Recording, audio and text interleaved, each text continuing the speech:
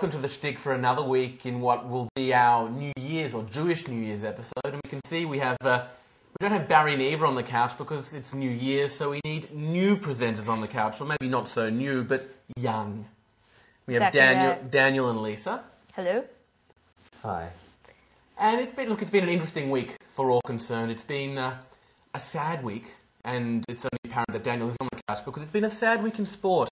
It has been. Um, a lot of retirements and a lot of um, firings from AFL clubs. I don't want to bore you guys with the details, but um, I'm wearing a black armband under my jumper at the moment. So building up to the Mourning grand, the loss. Yeah. building up to the grand final, there'll be a Mm. lot less players available to play. Well, because only two teams will be in the grand final, so I see why your you've got, sport's you've got the a lot less from 16 teams worth of players down to two. That that is a lot less players available. But Who would have um, guessed? But yeah, a And, lot less. and Lisa, your favourite sport, the sport of King's horse racing, is uh, Oh, definitely my favourite sport. what's happening there?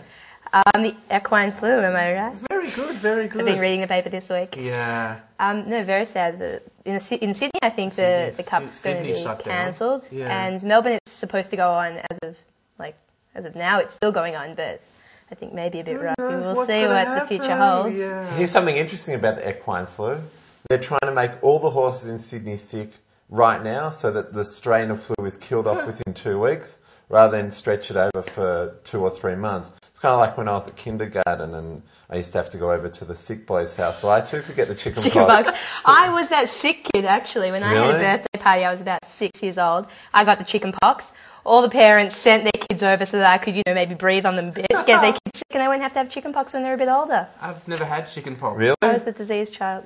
really? What does that mean for me?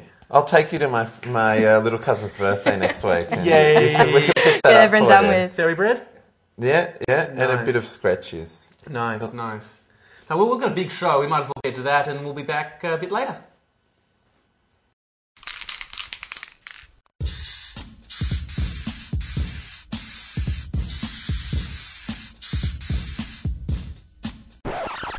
And so we approach the most beautiful time of the Jewish year, the time of the Yom Tovim, the holy days, when we celebrate the Jewish New Year, the Day of Atonement, and the other festivals.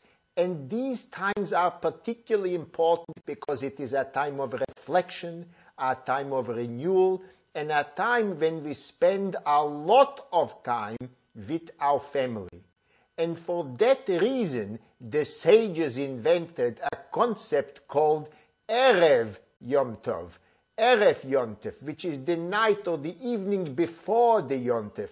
Now, why did they invent such a concept? Because they knew that even though the festivals are a wonderful time, we have to tolerate being with our family. And in every family, there is always a little bit of difficulty. So we have the night before to prepare ourselves, to gird our loins, to strengthen ourselves for the battle that is upcoming because we are going to have to spend a whole meal. We are going to spend a whole evening with the difficult members of our family. And we know that preparation is better than cure. And that's why we have Erev Yontif.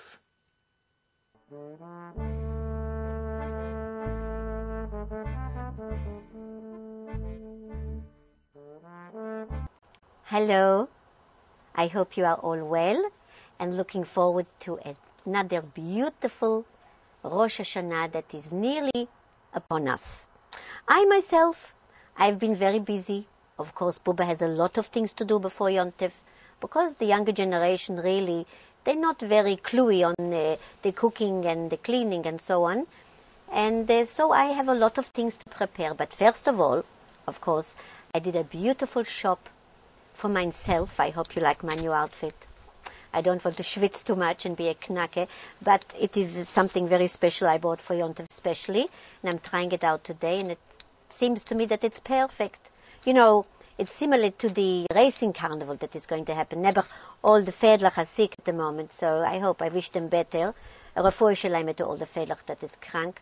But for myself, I just think that Rosh Hashanah is a wonderful time to renew oneself, to buy new clothes, to get the house ready for the hordes of mishpucha that is going to come and hack mir in Shainik about all sorts of things, and to simply enjoy the rebirth of all kinds of things. That's why we're sitting outside today and enjoying this beautiful, balmy spring weather that is come today. So I want to wish you, first of all, to tell you that you need to be mindful of a few things with Rosh Hashanah. If you're going to buy new shoes, especially, you need to know that new shoes don't have a place on any table. A table, it's a, it's a special place where you serve meals and so on and so forth. And to put new shoes on the table, it's not exactly a good thing. So keep that in mind. Before you put on the shoes, make sure they are fitting you well and that they are matching the outfit, that the outfit and the shoes need to match, accessorize well, and enjoy the yontif and your new clothes, but don't put the shoes on the table. Have a wonderful Rosh Hashanah.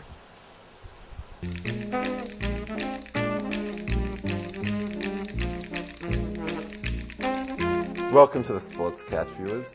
This week, through the magic of film, I'm actually speaking to you on what is Father's Day, although you're not watching me on Father's Day. What I was going to talk about was the father son rule and how we can extend that to the Jewish world. I've actually changed what I want to talk about. This week I'm going to talk about the role of my father in making me such a sports fan. I know usually I'm filled with jokes and humour, but this week I'm going to, uh, I don't know, make it a little bit more serious, I guess. I know amongst the Jewish community, it's certainly not the mothers that bring us into sport. If I'm pretty much certain, and I know I am, my mum's maybe, mainly, maybe been to three football games in her life, so it comes down to my father. Yes, the main reason he probably got me involved in sport was so I could become a successful AFL footballer. But I think him and I both realised at about the age of five that that was never going to happen. Now, I'm grateful to my father. It, was for me the most serious bonding thing we, we have done and luckily still do to this day. We still go to the football every week. I played football every week, I still do, and he still comes and watches me. Albeit now for a quarter until he's probably too ashamed to watch me anymore, but he still comes and watches. We used to go down to the park. I, I know, and I'm sure many of you guys do, how grateful we should be for our fathers, and for some of you, our mothers, for bringing us into sport. I want to thank my dad, although he's probably, oh, well, I'll rephrase that. He's almost definitely not watching this right now.